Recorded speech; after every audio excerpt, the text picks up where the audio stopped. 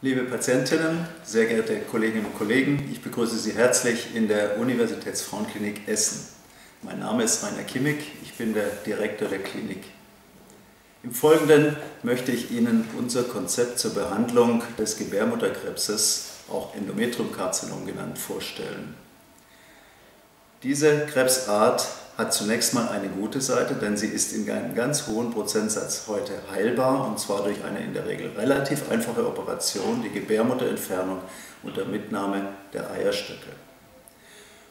Unser Problem und damit das Problem auch unserer Patientin ist aber, dass die meisten Frauen eine gute Chance auf Heilung haben, weniger davon allerdings ein erhöhtes Risiko für Rezidive und letztlich für das Fortschreiten der Erkrankung. Und wir müssen diese beiden Situationen unterscheiden können, denn die Therapie für diejenigen, die ein höheres Risiko hat, ist ausgedehnter und hat damit auch mehr Nebenwirkungen.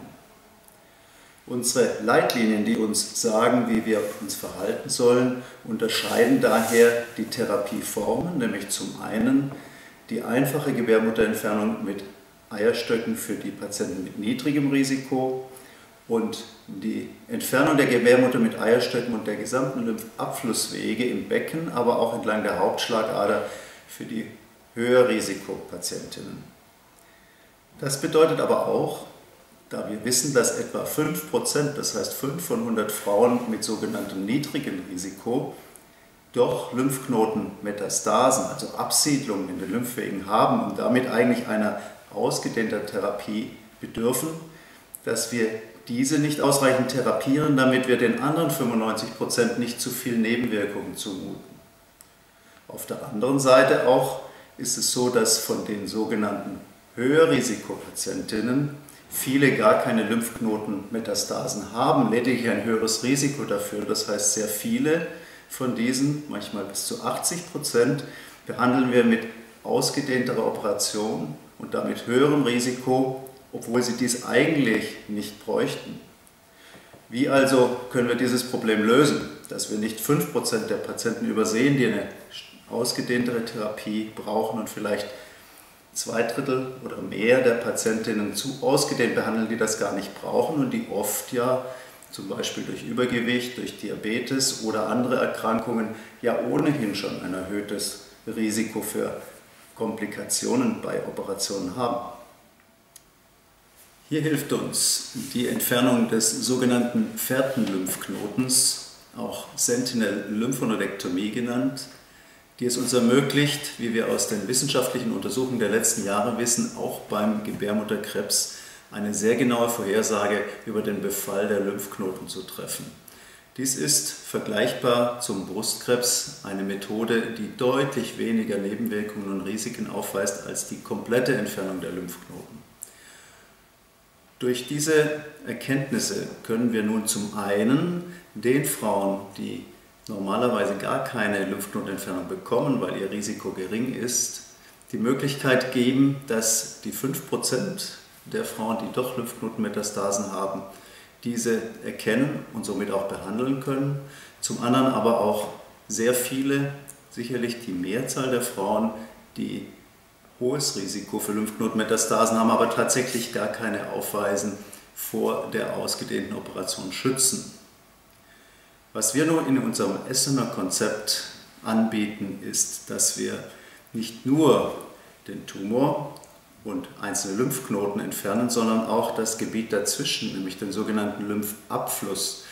Denn auch wenn die Lymphknoten noch in Ordnung sind, kann auf der Strecke der Lymphgefäße bereits Tumor sitzen. Hierzu spritzen wir eine grün fluoreszierende Flüssigkeit, wie Sie sie auf dem Monitor hinter mir sehen, und können auf diese Weise den Weg vom Tumor in die Lymphknoten festhalten.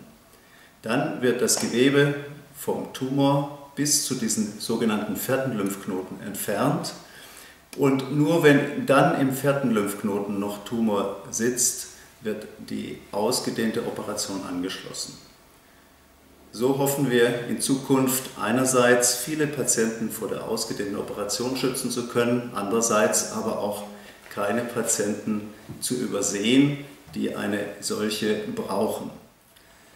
Diese Methode versetzt uns heute in die Lage, nicht nur denjenigen Patienten, die ein niedriges Risiko haben, die Chance zu geben, doch Lymphknotenmetastasen zu erkennen und diese dann auch zu behandeln, wie insbesondere auch denen, die unter dem hohen Risiko keine haben, den großen und sehr viel belastenden Eingriff zu ersparen. Darüber hinaus setzen wir heute beim Endometriumkarzinom nahezu ausschließlich die minimalinvasive Methode der Laparoskopie ein, die an sich bereits eine deutliche Verminderung der Belastung und der Operationsrisiken mit sich bringt. Wir wissen aber auch, dass die sogenannte computerassistierte Präzisionschirurgie, auch kurz Robotic Surgery genannt, eine weitere Reduktion der Belastung mit sich bringt und somit insbesondere für Patienten mit erhöhtem Operationsrisiko durch Zusatzerkrankungen oder großes Übergewicht weitere Vorteile bei der Behandlung bringt. Diese Technologie der Robotic Surgery ermöglicht auch Patientinnen, bei denen sehr komplexe, schwierige Operationen durchzuführen sind oder die ein besonders hohes Körpergewicht haben, die Operation in gleicher Präzision und mit vergleichbar geringen Risiken wie bei anderen Patienten durchzuführen.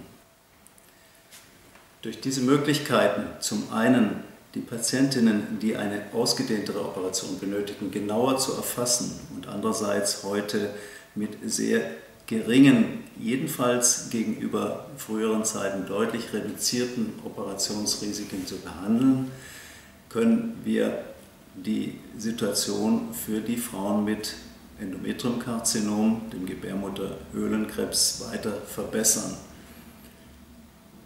Wenn Sie weitere Informationen benötigen oder auch einen individuellen Fall besprechen möchten, kontaktieren Sie uns jederzeit gerne. Dies ist am einfachsten über unsere Homepage möglich. Hier können Sie auch, wenn es Sie interessiert, die Videofilme der Operationen, die für interessierte Kolleginnen und Kollegen gedacht sind, ansehen.